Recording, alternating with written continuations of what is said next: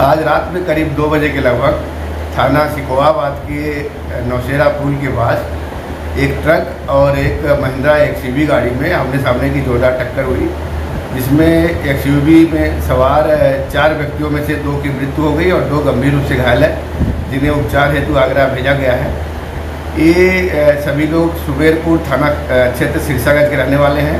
फिरोजाबाद से कोई birthday party attend करके लौट रहे थे और सामने से टक्कर में इनकी सामने से इनके ट्रक में टक्कर हुई है। ट्रक को कब्जे में ले लिया गया है। अन्य विधिक कार्रवाई इसमें की जा रही है।